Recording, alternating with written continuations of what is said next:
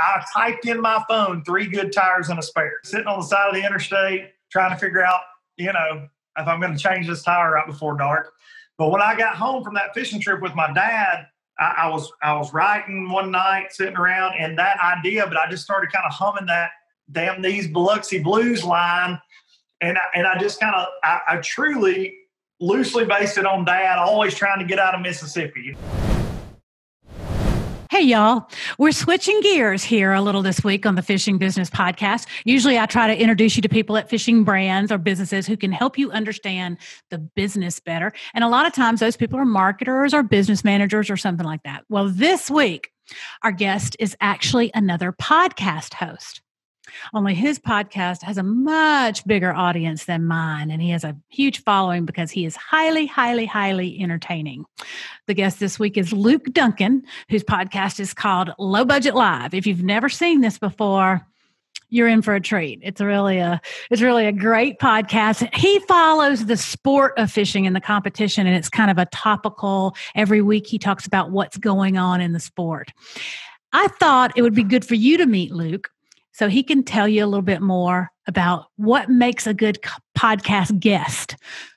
Because when you get invited to be on a podcast, and you will be invited to be on a podcast one day, you're going to want to know how to be the very best you can be. So listen to Luke's advice this week, y'all. It really applies to a lot of different things besides just being on a podcast. Um, if you've been invited to be in, be interviewed by your local newspaper, or even when you're on the weigh in stage, this advice can go a long way for all of those things where you need to speak publicly. All right, here we go, y'all. This is going to be good.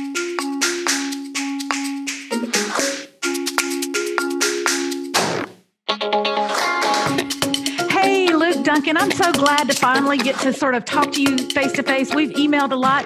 I mean, from years back, we've emailed. Years back. Through you're a good friend of Gerald Swindles. Gerald's a good friend of mine, and I think back then you were really more involved in the music scene, and we were trying to get some things going with you doing some music, right? Yeah, some uh, trying to play some music at some bass events for uh, Mountain Dew or somebody back yep. in the day. It was that was a Gerald connection there for sure. He he's a master at putting all those kind of things, connecting the dots between people. He really is. But, yes. And and listen, it's interesting because I've interviewed a lot of people that are industry fishing industry professionals that had an interesting way they came into the sport, an interesting background. But yours may take the cake. I don't. I've never met anybody who's who came in through the music door. Well, and, and you know, it's my story's kind of strange in that I was doing music while I was in the industry too. So I worked for TH Marine while I was chasing that deal. Uh, I actually had a songwriting and publishing deal, so I was I was getting paid to write for a company out of Muscle ah. Shoals, Alabama, for a while, and playing bars and festivals and that whole thing. But my whole life, since since really I was like ten or twelve, music and fishing have always been my two loves. I mean, my entire life, and and my dad did both. So really? he kind of you know, he did. He he played in bands in high school and college and things, and and wrote music, and he was a bass player. And so I've always, and my dad used to joke with people. He said, "Oh, he'll either be a, a country singer or a pro fisherman." I mean, like that, that was just kind of always the joke around our, our house because I that's the only two focuses I've really ever had yeah. you know, or, or, those two things. I started writing songs at a really early age and then started fishing tournaments when I was about 12. So it was like they always just kind of stuck with me. Well, let me tell you something. If you can figure out how to live your life working in the music industry and the fishing industry, dude, you got it figured out. That's a well. I, I, there have been some long days where I think maybe this is crazy, but I, I, tell you what, it's not work. That's the old saying, it's not work if you love what you do. And I've been very fortunate. I'm 15 years now working in the marine industry, bass fishing industry, and I, have been able to, you know, carve my little corner out in this in this crazy bass fishing world. And then I, and I've, you know, carved out uh, more recently. It's funny my music now is resonating with people more than it did when I was playing music. It's it's really wild through the podcast and things. So it's it's really exciting for. I'm actually writing more now than I did oh, back that's then. Great. Go, yeah, go try that's to release great. some new music. Uh, hopefully later this fall. I've got some stuff that uh, got to get recorded. But Oh, I'm so glad to hear that. So tell yeah. me, what is the story? Biloxi Blues is your is your theme song, right? Yeah, and yeah, I love that song. I just yeah. love it. But what's the was, what's the story on that? So that was always always one of Gerald's favorite songs, which is kind of funny. But uh, that song, all my stories, a lot of they story songs are always my passion, but they're not really autobiographical by any ways. I, I, a lot of the writers I listen to, they kind of tell a story from you know from another perspective. But that story was loosely based. I, I truly, I was, I was constantly in a notepad in my phone or something. Go down the road, see something on a billboard, think of something, write it down, or be having a phone conversation with somebody and they say a line, and you're like, ah, okay, thank you, you know, and then you write an entire story off that. I've always been, you know, like that in, in mm-hmm. creative writing kind of um, setups. So my dad, my entire life, has worked in Mississippi. We live in southern Tennessee, and it's about an hour and 40 minutes away, but he's been back and forth my entire life. And every time he would take me down there, I, and this is no offense to the state of Mississippi at all, but he, I, I, didn't like it. I never liked it as a kid. But then, but Mississippi took my dad away. That was always kind of like, you know, ah. and he was always doing whatever he had to do to get back to us, you know, at the end mm-hmm. of the mm-hmm. week and, oh. and what have you. And so that song kind of based that that Biloxi, which he's North Mississippi, but that idea kind of sprang from that. But but I'll be honest with you, I had a blowout on the side of I-65 going to meet him in Gulf Shores, Alabama for a fishing trip. Oh wow. And I typed in my phone three good tires and a spare, sitting on the side of the interstate, trying to figure out, you know, if I'm going to change this tire right before dark. But when I got home from that fishing trip with my dad, I, I, was I was writing one night, sitting around, and that idea, but I just started kind of humming that "Damn These Biloxi Blues" line, and I, and I just kind of I, I truly loosely based it on Dad, always trying to get out of Mississippi. You know, always trying to get back home to us. The three good tires and a spare line just fell into place. Yeah. And and and truly, I don't know a lot about the state of Mississippi, so Google helped me write that song more than anything because ah. I was looking like you know, I know the city, like I was thing like Tupelo, and, it, and it's got a lot of, mm-hmm. um, you know, talking about Civil War ghosts. It's got a lot of Mississippi history in that song, but uh, loosely yeah. based about my dad. And the coolest thing for me musically that I'll, that I'll ever, to my dying day, I don't think I'll ever get to do anything in music cooler than this. I got to play the Bluebird Cafe in Nashville, um, probably oh, wow. 2000, about 2012 and with a, wow. a, songwriter hero of mine named Walt Aldridge. He wrote uh, "Holding Her, Loving You,"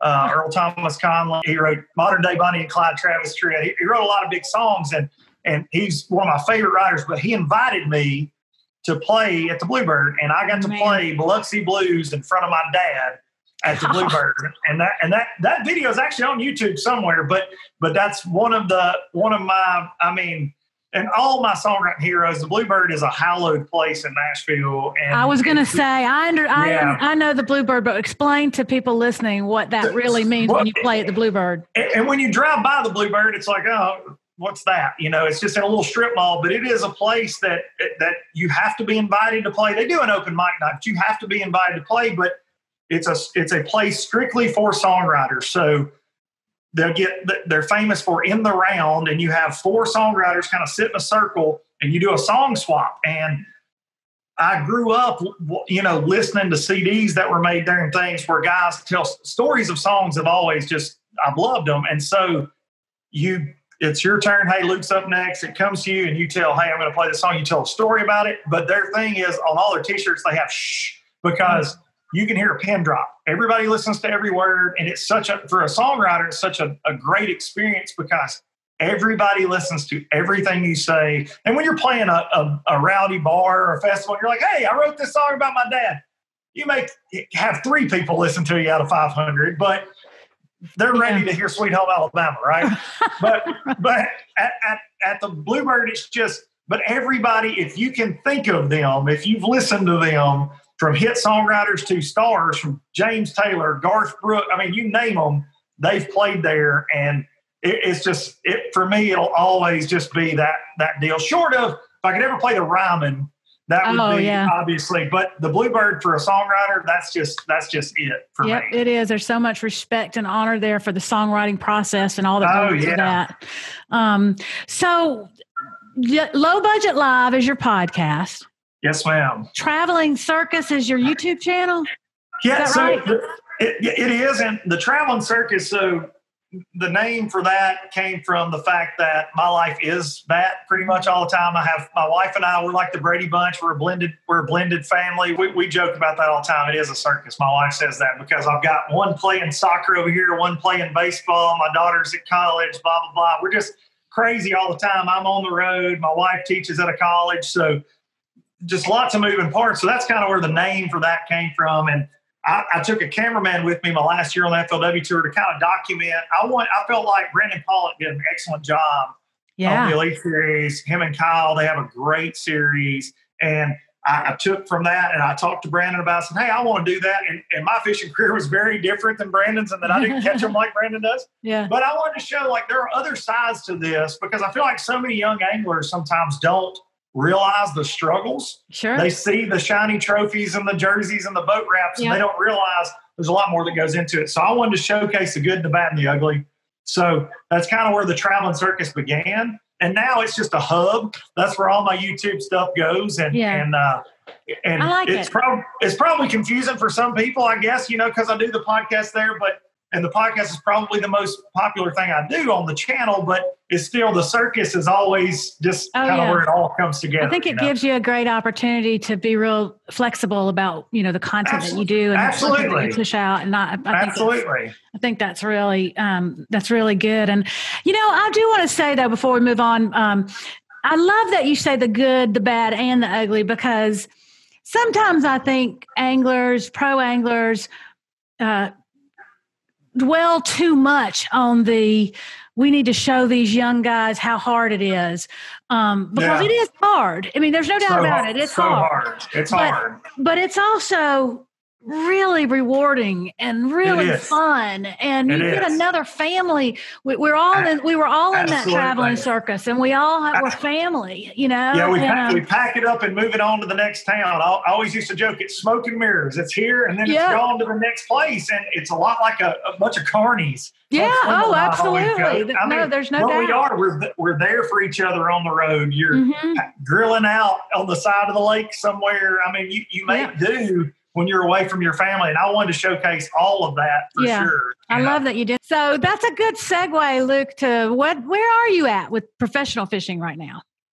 So I, I I love it. I'll always hold it near and dear to my heart, and I would like to do it again one day. But for me, timing wise, with a lot of things going on in life, and then in the professional fishing world, uh, 2020 was a year that that I felt like I needed to step away. I made that Yeah. decision in the fall uh, of 2019, and you know I, I've made no buts about it. I've talked about a lot on my podcast, but I didn't like the direction everything was headed with FLW with new ownership and things, and I've talked that into the ground. But uh, actually next year I was looking at fishing the Bassmaster Opens, but but this new this new opportunity has landed in my life in the last few weeks for the National Professional Fishing League. Uh, I'm going to be doing a commentary thing there, live, uh, do, being their low budget Mark Zona, as I've been calling myself. But uh, Ah, but so, so I don't know, depending on schedules and all that, if I'll get to fish and do that. It's just, you know, uh, I'm going to owe my wife a lot of jewelry anyways. Oh yeah. So Maybe some purses. probably so. Probably so. So I, I don't know. You know, for me, I, I hope that it always gets back to that. I love talking about the sport. I love representing the sport in every way I can. If and if that becomes, hey, you're just going to be a media person, I, I don't see myself having a problem with that. You know, because I get to fish through the traveling circus. I get to I get to educate. I get to promote for the Mhm. people that support me. Um, and I get to go fishing. I get You to, get to be on the water. too. So and and for me, tournament fishing at the professional level, it's so stressful. Even though it is fun, it's so stressful. And this year, which has been a hard reset for everybody, I feel like, right? Yeah. 2020 has kind of gotten us back to the basics. But for me this year, and I've always said and tried to preach, you know, fishing is fun, regardless of what you're doing in fishing, whether it's making a million dollars or, you know, just a guy that, that just wants to go crappie fishing on a Saturday the root of fishing while we all got into it is, is because it's fun. So for me, 2020 has been about getting back to that. I've been fishing with my kids a ton, fishing the lakes I grew up on. And so for me right now, it's just kind of wherever the wind blows me with Yeah, professional I fishing. I I, I love the sport and and you do realize a lot of things like doing a podcast, and I'm sure you, you realize this more and more. I interview these guys that that that are dominant, that that really you know have had so much, you know, so many their careers took different paths than mine did, and you get to hearing them breaking things down. And I consider myself a, a very good fisherman. I'm like, I would have never thought about that. Like those, those things, you're like, you, you, you interview a Chris Zaldain and a Brandon Palaniuk, or recently I had Buddy Gross on, and I called one of my best friends, Darian, after I got off the, the podcast. I said, Buddy, we're, we're out of our league with some of these guys because Buddy Gross breaking down the types of leaves on brush piles that he sees on his electronic that, when he won you fall. It's just that kind yeah. of stuff is I know how to find the brush piles. I know how to see the fish in the brush. When he's breaking them down, well, they were on this kind of tree better than this one. I'm like, hey, you know what? No wonder yeah. that guy took my money for a few years. and I'm okay. I never, you know, that's something I think being being uh, controversial at times on the podcast or speaking my mind, I get a lot of I get a lot of insults hur- hurled my way. People are like, oh, you couldn't make it with a rod and reel, so you have to pick uh, things apart. Now, and for me, look, I never said I was Kevin Van Dam. Yeah. That was never my thing. I had an opportunity to do it. I always wanted to do it, and I want to do it again someday. But I never, I never lived up to my expectations for it. And other than that, I'm not really worried about you know what the what the next guy thought. You know, right. I was fortunate I had companies that stuck with me, and my and my family stuck with me through it. But we'll see. We'll yeah. see. Professional fishing's crazy right now. You know it that. Is, it's, man. It's a, it's the Wild West right now. It so I, I, don't, I don't know what's going to happen. It's so going to be we'll so see. much fun to watch. And listen, I want to talk to you more about your new gig. I'm going to take a Absolutely. quick quick break right here, and then we'll come right back with Luke Dunkin on the Fishing Business Podcast. Do you know what your personal brand is? Because everyone has a personal brand. You may not be intentional about it yet, but all that you say or do or write or post contributes to how others perceive you. And that, my friends, is your personal brand. If you want to develop your brand and mean the things you want it to mean, I have a workbook that will help you get started and it's free. You can download my Developing Your Personal Brand workbook at www.fishingbusinessschool.com slash brand workbook. All right, we're back on the Fishing Business Podcast with Luke Dunkin, the host of Low Budget Live, a podcast, Low Budget Live, and also an extremely entertaining YouTube channel called The Traveling Circus. You can really, you can just Google Luke Dunkin Low Budget Live, and all of that will come back to you because you're you, you can you're easily findable, which is really really important for what you do. But tell me, uh, we started talked about this before the break. Tell me about your new gig. So my new gig is uh, there's a new tournament trail starting, and and it's you know um, pretty pretty bare bones fishing. Uh, that's that's what I like to say. It's it's going to be called the National Professional Fishing League. These guys are are seeking out to just kind of fit in um, a little different niche, and the, they're not trying to be the elite series. They're not trying to be Major League Fishing, but there are a lot of people, and I think you would agree from from coming from that that world. You lived it for a very long time. That we have so many people, these college kids, mm-hmm. high school kids coming up. Uh, maybe it, there, there are guys that can't commit their entire life to fishing the elite series, right. but they want to fish for high stakes, big money. So that's kind of where the National Professional Fishing League is going to fall. And they're going to be about five weeks in between tournaments. So you really you could have a day job technically, still fish a professional level tournament. But their their biggest thing is they're going to offer professional level coverages, and that's their goal. And so they're going to have live streaming every event. And for some reason, they decided that I needed to be the host of that. Oh, you'll be uh, fantastic. You will I'm be really, fantastic. I'm, I'm, really looking forward to it. I, I had the pleasure of, of working with uh, uh, Bass Live a couple times on location with Mercer okay. when they were down here at Wheeler and, and, doing a few spots like that. And then I worked with FLW Live, uh, commentating a few events that I wasn't competing in. And really loved that. I've, yeah. I've, talked to guys like Mark Zona and Ronnie Moore about it at length, you know. And yeah. when this opportunity popped up, I thought, you know, that's something I really think that I would I would really enjoy. So hopefully, it's going to be their coverage is going to be really interactive. They're trying something different in that they're going to have a live chat. Oh. During the broadcast, going to be a little different, and and it's really not going to be made for TV. So it's going to be made, made more for YouTube and and that immediate consumption of the streaming. So you'll be able to get on there and say, yeah, you're crazy. Shut your mouth, Luke Dunkin. So uh, well, I'm going to be in the peanut gallery. Yes, okay, yeah, I will be. Uh, and you know, like I know, there are a lot of armchair quarterbacks in. Oh yeah.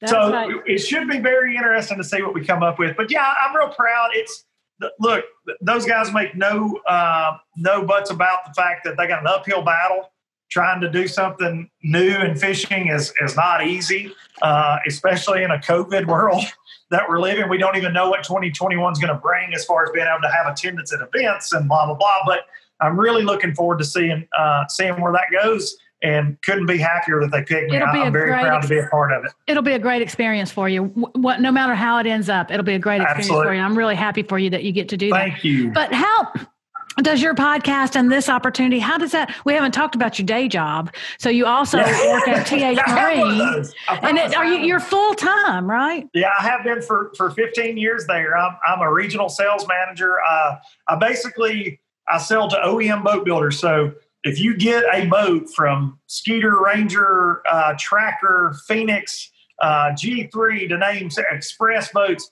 to name a few I'm the one that sells them their TH parts. So uh. that's that's what I've done for for years and years and years, and going to continue to do it as, as long as they'll have me. But I, they've been very uh, very good with me while I was fishing the tour. They supported that, actually sponsored me outside of work oh, to great. you know to give me the opportunity to do that. But those guys, it's really cool working with a company that's been in the industry for 40 years like that.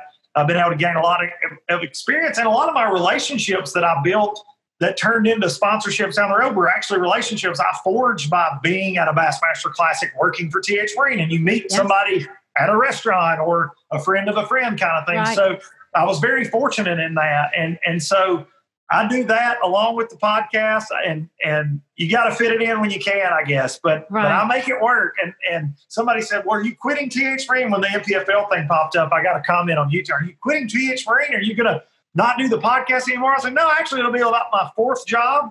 So uh, I wouldn't have it any other way. I've got well, a lot of energy. Great. So that's great. Well, okay. So how has your um, your sales role um, influenced your ability to market yourself and your podcast and, and and as a pro angler and everything? Well, I think that you know not just the sales role, but being working in the industry and seeing kind of behind the curtain as far as on a marketing perspective, seeing what, you know, proposals people send in, yeah. how they represent themselves, how a company reacts to those proposals. That was very, very crucial for me. From, you know, they hired me right out of college. I was a marketing grad and fished the Bassmaster Opens, and I met them while I was fishing the Open. So they hired a 22 year old, big eyed, wanting to be a pro fisherman and throw me into the fire, so to speak. And so, and I thought, pro fishing is life, and as long as you say, "Yeah, I fish the Bassmasters," that people are going to get out their checkbook, yeah. right? I mean, that, that's that's what you think, I guess, when you're young and naive. But learn that really helped me learn because I went several years after I started at TH when I was really building the foundation of my career. I didn't fish at the professional level. I mean, there were probably six, seven years that went by that I didn't even. I didn't even think I was fishing a lot of team tournaments, mm-hmm. but and playing music during that time, but I really it was it was like 2013 when I kind of got that that hunger to to try that again. Um, and they gave me the opportunity to do that. But um, but I learned so much because I think the, the number one thing people don't realize is these companies, whether it be you know a boat company, motor company, electronics, lures, hundreds of people reach out to them. And more so now, I think, because of social media, through social media, direct yeah. messages and things, they get bombarded yes. with requests. So it's figuring out how to separate yourself, you know, especially if you're an up and coming guy, you've got to figure out how to get their attention. You know, what about you separates yourself? Because obviously they know that Gerald Swindle is catching them because they see him on ESPN too they don't know you as you're up and coming. So I think it taught me a lot, a lot in that, and a lot just how to handle yourself. You know, if you're at ICAST, don't go up and interrupt somebody that appears to be having a meeting to give them a resume. You, you see a lot of people do things like that, and you're like, "Hey, man, I, I wouldn't, you know, yeah, wouldn't take that approach." And and I hope that every young angler that reaches out to me, Instagram, Facebook, I try to, you know, teach them those things because I feel like mm-hmm. it's there's too much too much of the time they just think you can just go, you know, bull in a china shop. Right. And and our joke, one of my best friends at TH Spring, Corey Williams, we joke about this all the time. He says, I fish real good. Can I get something for free? Because there are so many people that are like, I love your product. Can you give me some of it? And they're yeah. like, wait a second. You wouldn't call Sony televisions and say, hey, right. your man, your 4K TV is amazing. Can I get one for free? Right. I mean, it's just but the fishing industry really, I mean, it kind of people Oh. think it works that way. So Yes. that that's my biggest thing that I learned is just how to conduct myself. And I won't say that I'm a have a master's degree in it at all because I still I found myself, especially with the podcast, it's very odd trying to sell myself to sponsors. I, I don't know why, but it, I, I get nervous in those situations. And in sales situations, normally I don't. I don't care if it's the janitor or the CEO of the biggest company. I normally I treat everybody the same. I expect to be treated the same. You know what I mean? Mhm. That, that's just always kind of been how I was raised. But sometimes when you're t- selling yourself, It's you feel a little narcissistic, right? Yes. Like if you're like, well, this is this is why you need to low budget Yeah. life. So I, it gets it gets hard for me in those situations. So I'm definitely not. I'm still learning Mhm. as I go. And the podcast is different than trying to sell yourself as an angler right. with a boat and truck wrap and jerseys Yeah. and things. It's it's a little bit different. So I'm It's still. hard. It's hard to go out there with "I'm so great." Look at how great I am. You It, it is. And, and for me, the biggest put off, because I handled marketing for TH for a couple years there, that was my biggest thing. If you came in guns blazing like that, Mhm. if you've got to ring your own bell that much, Yeah. most likely you don't have anything to back it up with. You know, Right. like Kevin Van Dam doesn't call you and tell you he's the best. You already know that, That's right? right. So That's right. And that, so so that was that's my thing with that. You're much more you're much more likely to get somebody's attention if you call up with, "Hey, I've got an idea that I might be able to help you." that that's the key is what can you do to help the company you're Mhm. trying to get on with it's not how many crankbaits are you going to send me you know yeah, right. you guys pay me they don't want to hear that they can Yeah. do that for literally take a name out of a hat pick an angler and give them everything they want right It- you've got to you've got to approach it from what you can do for them standpoint for sure Okay, so what about getting on a podcast? How do you how does somebody increase their chances of getting to be a guest on a podcast? okay so I, this is one you opened up a can of worms with me on this one oh, here we go, I'm y'all. Here we go. I'm a very, I'm very opinionated on this, and and this is, uh, and I, I'll say this, um, and I don't mean this to sound arrogant or anything. I just think like it, it's kind of the same way. If and, and look, there are a lot of guests I don't know about it, and, and I have people, hey, suggest get so and so on, or I see it in. Mm-hmm. YouTube comments that because it, it may be a story I'm not aware of. I do really try to keep up with the, the fishing world in relation to my podcast Yeah. because I, I talk about topical things. But for me, the worst thing in the world to do is to direct message somebody with a podcast, Facebook message, direct message, or get their number. Hey, man, I want to come on your podcast. That Yeah. is the worst thing to do in the world because most of the time I'm like you in that I have an idea of what guests I want. Yeah. And and look, I've got buddies that say, "Hey, I want to come on your show to talk about this." That's something going on. That's Yeah. a different situation. I'm saying when you, hey man, you need to have me on your podcast. Well, why?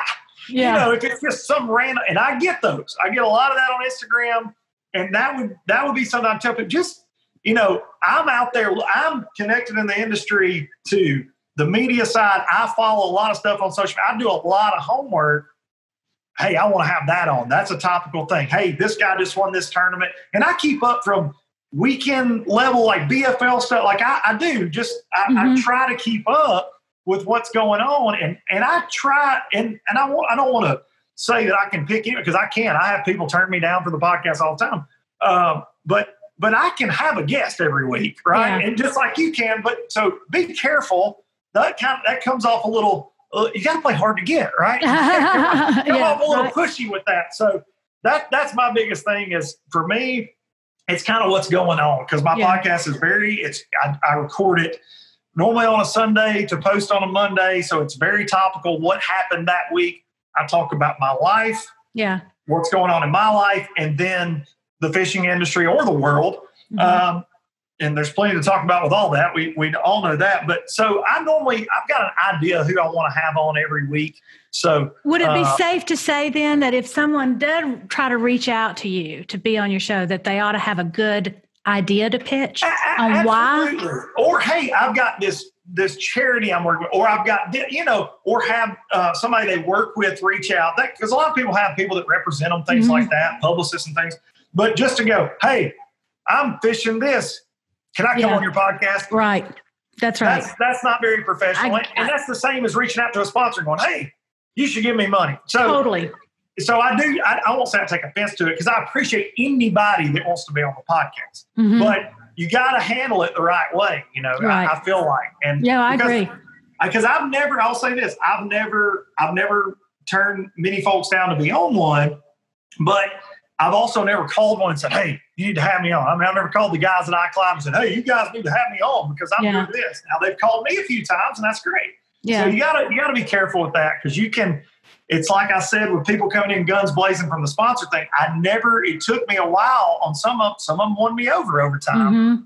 but you never get that uh, second chance of the first impression. That's Right, always that's right. always the thing. So Well, so handle and- and, and there are ways to ask. You can handle yourself professionally and ask, but don't just go, "Hey, can I come on your podcast on an Instagram message?" You know, right, right. that's not the best way. Well, and you know, it's funny because even with me asking you to be on this podcast, I went through Gerald because I knew Absolutely. you and Gerald were friends. And I was like, I don't want to reach out to this guy. He might be like, first of all, he might be like, Who are you? I have never heard of you, uh, or I don't remember you. And then, you know, I, I was like, I don't want to be so presumptuous that I would think that, you know, he would, because I know it's an imposition to ask someone to take an hour out of their day and do this. Well, it's that that's hard, and for me with podcasts, I get asked to do do some that I actually do turn down. And the only reason I do is because I spend like you like you said, I spend an hour a week talking about my own life, talking about podcasts. So I feel like I really don't have a lot to add to, to so, so to speak. But with you, you sent me, you, you know, you're like, hey, this is kind of what I want to talk about. I'm like, I love that. That's fresh. That's a that's a different take on on what Right. people know about me. So I appreciate you asking me to be Well, on. and like I said, it's all it all got, kind of goes back to storytelling, right? So when Absolutely. I approached you, I had an idea. I wasn't just saying, "Look, Right. come on the come on the podcast and let's shoot the breeze for an hour." I had a specific idea of of what we could talk about, and that's what people need to do when they, you know, when they are pitching someone else. But okay, so how? What's what are a couple of things you can a person can do to be a better podcast guest when they're when they are asked? I would say you've got to be able to kind of deliver deliberate on what you're what you're talking about. You got to be able to, you know, I hate one word answers. You know, I we've all had those interviews where you get a guy, maybe you said something he didn't like, uh, and and he kind of backs in a corner and it's yes, no. You know, the one word answers. I can't.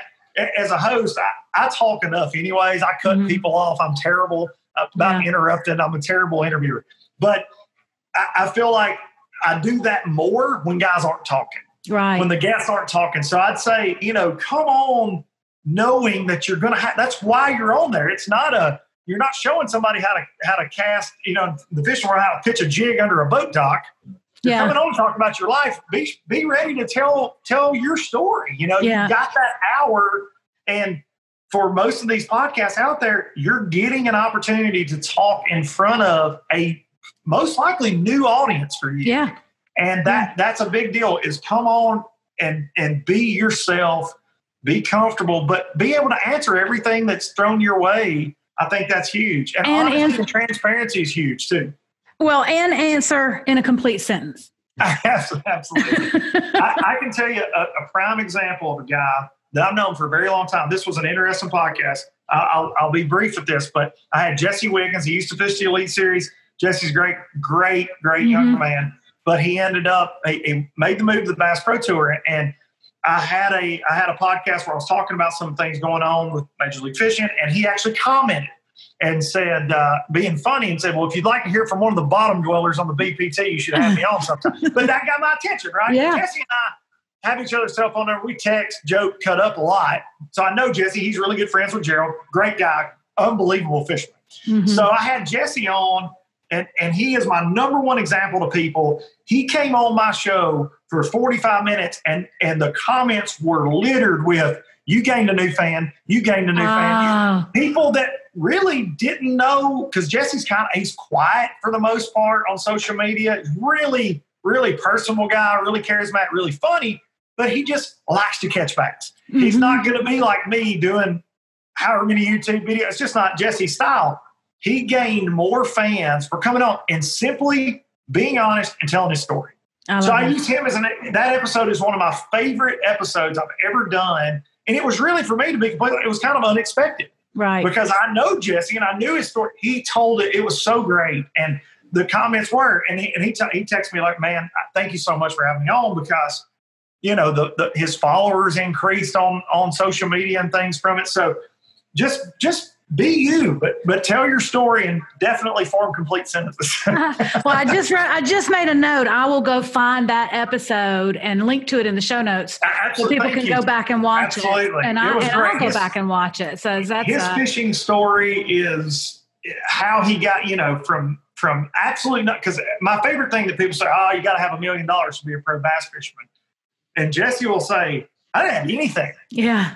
and he qualified for the Elite Series twice before he ever even went because he couldn't afford it. Yeah. and then and then he won an event and that kick-started him he chose his profession outside of fishing to pay for it he could work three days a week Wow. and fish the rest of the time just to pay his bill incredible story oh yeah, I will definitely go back I- and listen it's worth a listen so i I really Yeah. appreciate that You know, another question I wanted to ask you is, you know, a, a lot of we talk a lot on this podcast about building your audience and and telling your story. It seems like every week we talk about be yourself and tell your real story, and that does help you build an audience. Um, but when when you started trying to build your audience as a podcast host, was there anything about that that process that surprised you that you weren't expecting, or or did everything kind of go like you thought it would? no no my, my podcast ride has kind of been wild um, and, and kind of crazy um, at the same time so low budget live started as an instagram only show Oh, you're kidding. That, that's how it started. Three years ago, it was it August. Right now, is three years ago. We started the Forrest Wood Cup, and I had this idea with with my buddies Darian and Corey, and I said, "Man, what if you could do a professional looking podcast, so to speak, but use Instagram's live platform? It's Mhm. free, right? Cheap. Yeah. I'm a cheapskate. So Yeah. I'm like, I've got music equipment, and we found a way to run a mixer with microphones into a cell phone. We found a little plug-in for 50 bucks, and we were able to broadcast on Instagram for hours at a time. Oh my god. That's gosh. how it started. We were back. FLW let us backstage at the Forrest Wood Cup. the first year, we made all the media mad, and I remember a guy from an unknown, an unnamed website saying, "You guys need to get out of the media room." Who knew me very well? He said, "You guys need to get out of the media room because we had all the guys coming off stage. They were walking through the media and coming to me because they knew me, sitting out the microphone. We're streaming it on Instagram, coming right off the weigh-in stage. And he says." You guys need to get out of the media room. You're not media. And I said, Well, buddy, let me tell you, you better hope I don't ever start to become media. Just as a joke, but like they were, they were giving us all the love and they were getting really upset. And I understood that. They had a job to do. But the problem with Instagram was the podcast went away after 24 hours. Oh, right. Stupid. We were doing all this work, Right. cables and microphones. So we did that for a year. Oh my I God. Roland Martin, Jimmy Houston, and Bill Dance all in a corner booth in Missouri at a restaurant on live for two hours one night. No record of it. Oh my God. I've, I've got so many, but we just we didn't care. We didn't care. But uh, actually, Brian Stockel from iCloud, he's the producer. Brian the Carpenter. Love Brian. Brian the cart. Yep, love him. Brian, Brian reached out to me and he's like, dude, I love what you're doing. But he's like, you got to record these for iTunes. He's like, you're just, you get, you've got great content, but you're wasting your time. Like, why are you doing this? Okay, I'm going to interrupt Luke right here because much like what happened with Gerald and Leanne Swindle a few weeks ago, there's just too much good stuff here. And I don't want to cut something out to make this shorter. So I'm going to break it into two parts. The story Luke is telling is really good. So come back next week to hear the end of it and more from Luke Dunkin. Next week, we'll get some really good insight from Luke on how he got his first sponsor on the podcast, how letting people see your vulnerable side helps you grow, and why he's like the Donald Trump of bass fishing. But for now, I'm going to close things out for the week. Please give me some love on YouTube and on your favorite podcast app. Give me that little thumbs up, but even better, leave a comment. That always makes me so excited when I get that little notification that someone's left me a comment. Down in the show notes, you'll see how to get a hold of me or Luke, and I'm sure he'd be just as tickled to hear from you as I would. I'll go for now, but I'll leave you with this. Just like Jerry McKinnis used to always say at the end of his television show, The Fishing Hole, this is dedicated to dad because he always had time to take me fishing.